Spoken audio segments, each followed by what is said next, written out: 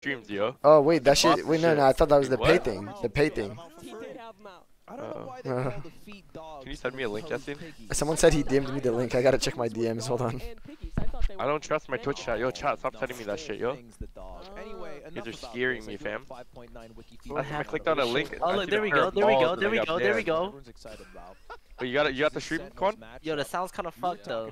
No, I don't- oh, I don't wanna hear the Can I put that full screen? Why is it the cloud- why is it the Hate the cloud sound. Alright, definitely. explain to me the cloud Oh, let's go. Down. Wait, who is that? Oh shit, I gotta mute.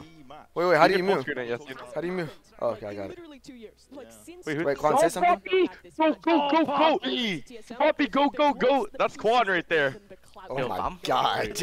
No. I clear him, I clear him. Sentinels, they're still rocking it. They've got TenZ. They've had a Brazilian clout. You can, you can still call this one the clout matchup, even if it isn't really. Child, look at the one. look at think look at so? Puppy Oh, the food right here. Sentinels are looking scary right now, yo.